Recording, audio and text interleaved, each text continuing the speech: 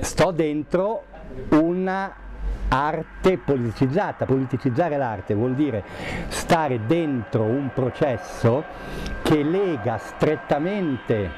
eh, le trasformazioni delle, delle, eh, eh, delle esperienze delle persone singole e organizzate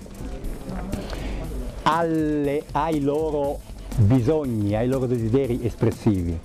Questa è l'arte che mi interessa. Da questo punto di vista, per esempio, io cerco l'arte nei movimenti, ma non, nei, non in spezzoni di movimenti particolari, quelli all'era. Io mi dedico all'arte, io faccio l'arte. Va benissimo poi che ci sia anche della gente che specificamente eh, eh, co dire, si occupa di questa diciamo, dimensione ma se il processo non nasce dal, dalla, dalla, dal magma del movimento, cioè se non esprime eh, eh, in forme diverse, in forme nuove, in forme inedite, in forme bizzarre, in forme sorprendenti, questa è l'arte che eh, deve fare questo, ma deve esprimere quello, perché se no è il solipsismo, è come quando Deleuze dice la cosa importante non sono gli alberi, che sono robe sì, è l'erba,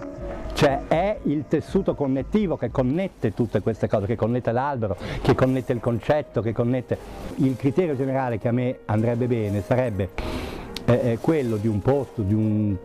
collettivo, di un, di un luogo in cui